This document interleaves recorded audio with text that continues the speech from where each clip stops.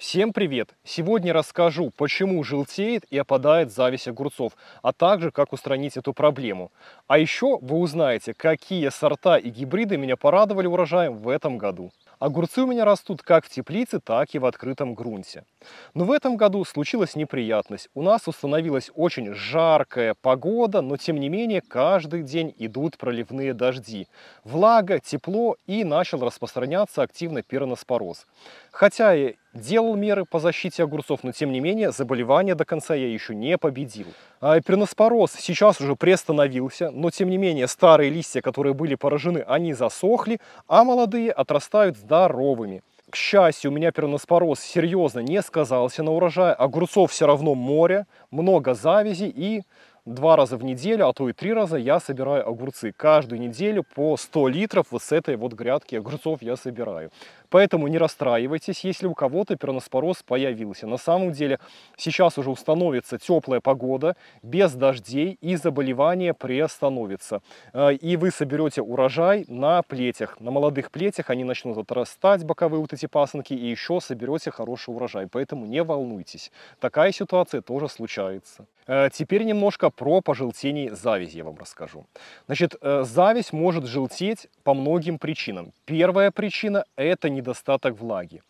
Если у вас огурцы растут будто в открытом грунте, либо в теплице и не хватает влаги, зависть может желтеть. В открытом грунте сейчас у нас идут дожди, поэтому недостатка с влагой нету. А вот в теплицах вроде бы и погода дождливая, но дождь в теплице не попадает. Поэтому огурцы нужно поливать в теплице практически каждый день. На улице плюс 30 и в теплице почва пересыхает очень быстро.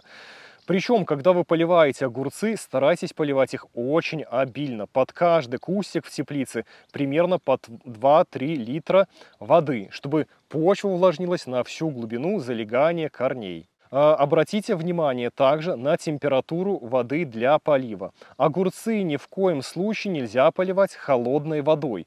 По этой же причине может желтеть зависть, если вы поливаете огурцы прямо из скважины, либо из колодца. Воду нужно предварительно набрать в емкости, и чтобы она хорошенько прогрелась на солнце. Идеальная температура для полива огурцов воды должна быть плюс 22-24 градуса. Вот в этом случае огурцы не будут желтеть при поливе такой водой. Пожелтение огурцов в завязи, кстати, может случаться и от переувлажнения. Например, у нас сейчас э, очень высокая влажность, ветра практически нету, э, ночью туманы, роса, дожди, посадки не проветриваются, почва переувлажнена, поэтому э, отдельная зависть, даже у меня, она желтеет. Никак здесь не исправить ситуацию. В теплице, конечно, да, там огурцы защищены от дождей, от переувлажнения, там э, редко такое случается. А вот в открытом грунте очень часто от переувлажнения страдает зависть огурцов. Тем более, что у меня загущенные посадки достаточно, густо все посажено, поэтому плохо продувается и зависть где-то желтеет. Но, опять же, это не критично. Если установится сейчас теплая погода, без дождей почва подсохнет и все нормализуется. Пожелтение завязи огурцов может вызывать еще несвоевременный сбор урожая. Когда идет перегруз урожаем, очень много уже больших сформировавшихся плодов, то эти плоды отнимают все силы и питание у завязи молодой. И получается, если вы собираете огурцы редко, например, приезжаете на дачу только раз в неделю, нет возможности среди недели собирать огурцы, и происходит пожелтение вот этой молодой завязи. Поэтому старайтесь приехать на дачу, может быть, среди недели, когда-то вечерком, и собрать урожай, чтобы не было перегрузки. Всегда на перегруженных э, кустах огурцов э, есть такое пожелтение завязи, потому что на все плоды попросту не хватает сил и питания у кустика огурцов. Ну и, конечно же, самая частая причина пожелтения завязи огурцов – это недостаток питания. Огурцы нуждаются в полноценном питании. Они должны получать и азот, и фосфор, и калий. И есть у меня такая схема подкормки. Как кормить огурцы? Значит, первый, первую подкормку нужно сделать азотными удобрениями. Азотные удобрения есть синтезированные, покупные, например, там аммиачная селитра, карбамид и так далее. Есть натуральные. Лучше в период созревания урожая использовать натуральные удобрения, чтобы не было риска э, занитрачивания урожая.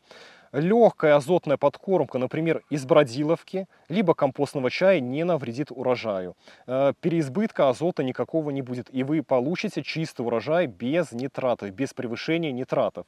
Поэтому лучше всего подкармливайте натуральными вот такими простыми удобрениями, бродиловкой, либо компостным чаем. Причем старайтесь чередовать подкормки. Допустим, сегодня вы подкормили бродиловкой либо компостным чаем. Проходит неделя, делайте калийно-фосфорную подкормку. Особенно важен калий. Калий для огурцов просто незаменим в период э, созревания урожая, потому что при недостатке калия огурцы, вот эта зависть, может не только желтеть, но еще и скручиваться. Огурцы будут расти крючками. Это недостаток калия. Поэтому делайте калийные подкормки. Лучше всего подкормить огурцы монофосфатом фосфатом калия. Одну столовую ложку удобрения разводим в 10 литрах воды и под корень поливаем. И вот так вот чередуем по неделям. Одну неделю делаем азотную подкормочку, бродиловка из травы, а затем через неделю делаем вот калийную подкормку, значит, монофосфатом калия. Если не хотите применять, допустим, тот же монофосфат калия, можете применять древесную золу. Древесная зола, нужно отметить, что не так быстро отдает питательные вещества, а, но, тем не менее, у древесной золы более такой пролонгированный характер а, значит, питания растений. Один раз внесли и на несколько недель можете забыть про подкормку значит, калием и фосфором. Из золы будет, этот, будет, будет это питание а, значит, поступать. Можно использовать использовать сухую золу по влажной почве вносить и рыхлить, но лучше приготовить водный раствор. Один стакан древесной золы размешайте с 10 литрами воды и под корень полейте. Быстрее огурцы получат необходимое питание. А, ну и сейчас, вот конец ролика, мы сделаем небольшой обзорчик на сорта огурцов, которые у меня здесь на грядке растут. А, покажем, какой урожай получился. Буду смотреть схему посадки, кстати, на память не помню, где что посеяно. Но, тем не менее, сейчас вот оператор поближе снимет, мы будем показывать, какие плоды, э, какие огурцы дают. Хочу вам показать, какая нагрузка урожаем, несмотря на перноспороз. А, видите, как растут огурчики. Это гибрид ансор корнишонного типа. Огурчики такого темно-зеленого цвета в мелкую пупырку. Очень сладкие, хрустящие, урожайные. Кстати, очень ранний, самый опыляемый гибрид. В открытом грунте может расти, может и в теплице, потому что не требует а, опыления насекомыми. В одной, значит, в одном междуузле может быть и два плода. А, они очень такие плотненькие, крепенькие. Значит, что хочу еще отметить, что а, вот этот вот гибрид очень долго не перерастает. Значит, э, вес огурчиков примерно 80-90 грамм. Ну, конечно, если перерастут, могут и больше быть, надо своевременно урожай собирать. Отлично подходит и для закаток, и для салатов, для употребления в свежем виде.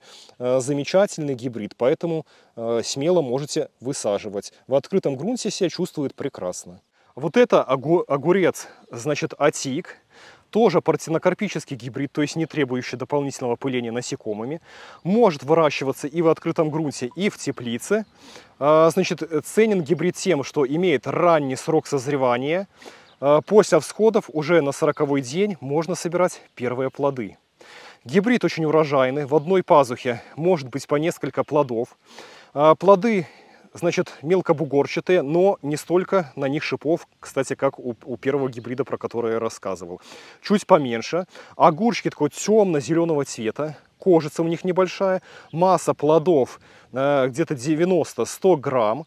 Э, если Поменьше можно выбирать, что там 80 грамм будет огурчик. Очень сочные, хрустящие, сладкие.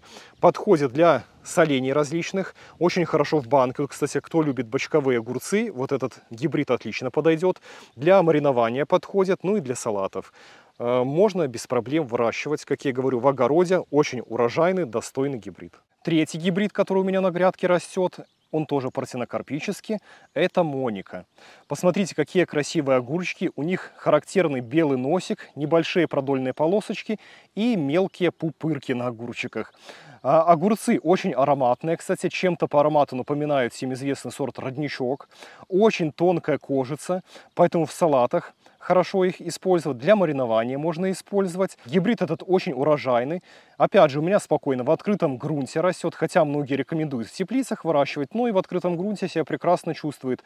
Э, кстати, вот из многих огурцов, которые сортов, гибридов у меня на грядке растет, он в меньшей степени поразился перноспорозом, поэтому еще и устойчивость к заболеваниям у него высокая.